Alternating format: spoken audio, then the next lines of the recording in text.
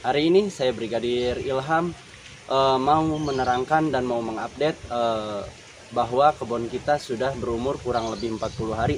Setelah mencapai 40 hari, kita lakukan aktivitas yaitu topping dan seleksi buah.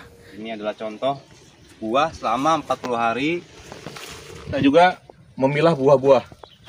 Ya, kita pilah buahnya. Kalau emang tidak bagus, nah ini tidak bagus guys, kita buang.